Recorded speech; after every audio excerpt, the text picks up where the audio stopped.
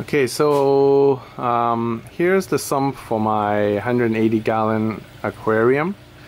Um, so it comes from up top there. So the first one, this one, uh, in the middle here, the smaller one is the main siphon. And then this one here is the uh, secondary drain and the black one is the emergency drain and the fourth one here the fourth gray one here it is the only one that has uh, pump pressure going up. Okay? So the black one has absolutely nothing. Uh, the second one here is the main uh, siphon. So if you can see there's like you can definitely see this. I don't know if you can see the water rushing down out of that but in this chamber the the uh, the current is pretty strong. So you can see this fish is uh, but they're still fighting quite quite easily. Okay. If you look at the plant you can see the current going in there and the fish is just trying to fight that current somehow they swim from this side to this side with that little space so you know. But they seem to be fine. Uh, the second chamber is really designed to have um, uh, it's kind of like my secondary aquarium or you know treat it as my refugium. So I've got some plants growing here to hopefully it grows well and then I can put them in the main tank. Uh, I've got some tetras here just just for fun. Um, got uh, some Siamese algae eater. You see this guy over here. Right. They swim pretty fast. Um, so I think if they get bigger I'm going to put them up in my main tank when the plant can uh, get up there uh, so provide some hiding spot for them. Upstairs uh, you can as you can see in the last video uh, I've got some minnows in there. So you know so far my turtles can't get them because they're swimming too fast for my turtles. If one gets eaten doesn't matter. They were they're very cheap anyways.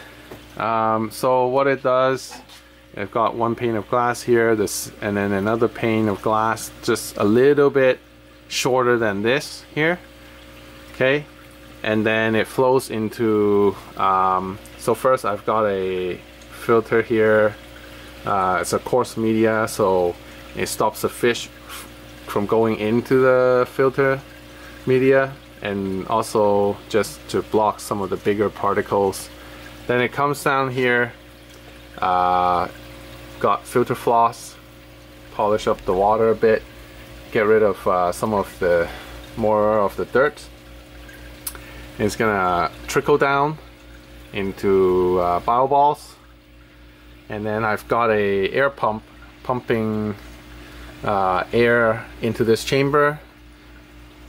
And then it's gonna flow down flow up.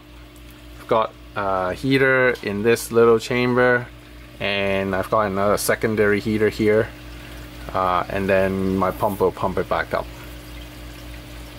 So in this chamber I'm gonna add probably maybe some uh, some carbon uh, you know you can do a lot of stuff in this chamber tons of stuff. Um, I've got extra features or stuff that I put in. So I've, I've actually wired I've uh, did some plumbing here. So this is, this is hot water and that's uh, cold water. So when I want to do a oil, uh, not an oil change, a water change, um, I can put in a bit of hot water so that uh, I can I can keep the temperature a bit more steady for the fish and uh, obviously the, the, the cold water just comes down here now this here is uh, actually was from my last tank. So what I did here was uh, in my last tank I had a drip continuous drip system. So it was always dripping water into ooh, my uh, light just turned off. So the drip system would uh, constantly drip water into this chamber. And then uh, first of all the, the it'll keep the water level um, steady. And you know it's it's just a little bit faster than the evaporation rates so it will just slowly uh, help me do water change. So my last tank it was almost I didn't do any water change or add water top off or anything for like six months. It was completely self-maintained um, this one I haven't set up the drip system yet but why did I still put up here is because um, I, I can, it it helps me do water change. Now, how that works is that if I turn on the water into this chamber, okay, so I'm just gonna turn on the water here and then you can see that the water is gonna slowly get up to these holes. It's gonna drain into um, into the, the, the pipe and this overflow pipe is going to start draining out water. You'll see in a in a bit. So it, it can you it, it can help me do a very slow water change I'm doing it faster so you guys can see this better on the video and not have to, having to wait. So what I can do is really to uh, let that pipe trickle down water for maybe an hour or so and just walk away. And I will have no fear of it overflowing because it, it'll, if it goes past this point, water is gonna start coming down as you can see here. So I've got water coming down here now and you can see that the water is starting to come down. And this directly drain into a drain that I set up back there goes to the drain. So it's completely automatic really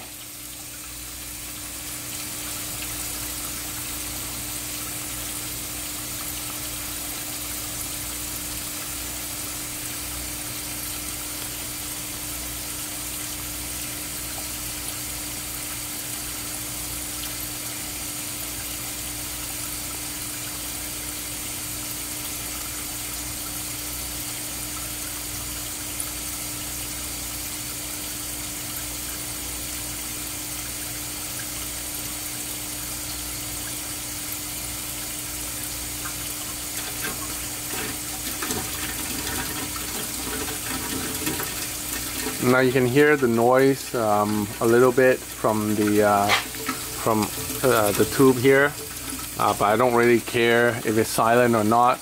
Uh, there are ways to silence it but I really didn't want to do that because I it's not gonna bother me. It only has that noise when it's uh, doing water change So you can hear the water draining out. I'm still continuously filling water. So at this rate, you can do a you can do a I don't know 20% water change without even lifting any buckets of water at all. Uh, with I don't know, you can even walk away if you want, right? It doesn't it doesn't even matter. But when you do this, I I usually do it very slow. I do it um, kind of kind of like a very slow water change. Uh, so now I'm gonna turn off this this pipe here. And by the time the water drops past these holes the water will stop filling uh, stop, stop filtering out. And then there you go I'm done my water change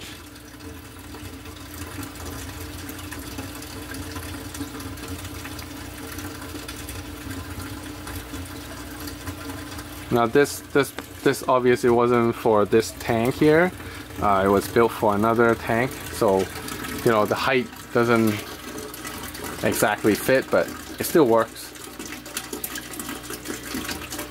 Okay, so you can see the water is just gonna finish draining into the tube and uh, this is kind of like the same thing with the overflow idea and then uh, the, the water should be oh my, the water will stop draining out fairly soon.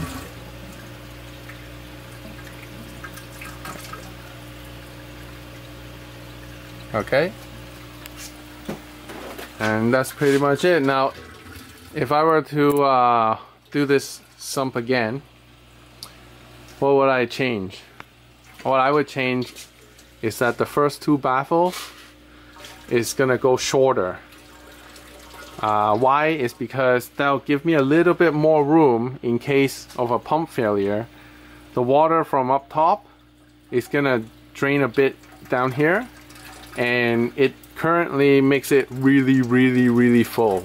So it's it's uh, a little bit uh, concerning to me that it's so full. Uh, but obviously if I have this system running uh, it's not um, it's not uh, it's not a problem because it will never it will just drain out a bunch of water from from the from the uh, aquarium okay um, but it never hurts to have a bit more safety margin. Uh, so I would make these just a little bit shorter, maybe two inches shorter. Uh, everything just brings everything down a bit. But overall, uh, I'm pretty happy with this.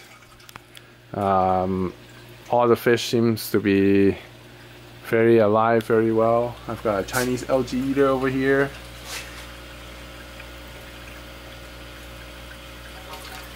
and uh, the plant seems to be doing pretty well I got these plants uh, the hornwort especially was only maybe the same height as the moneywort maybe like two three days ago and it's almost reaching the top of the tank. So it grew probably about inch inch and a half a day in height. So that's that's pretty crazy. The other ones are um, I guess they're still adjusting. They don't look especially uh, you know they, they don't look like they're growing too much. But we'll see in a, in a month or so so that's about it. Uh, if you have any questions uh, you can leave it in the comments um, and uh, I'll try to answer them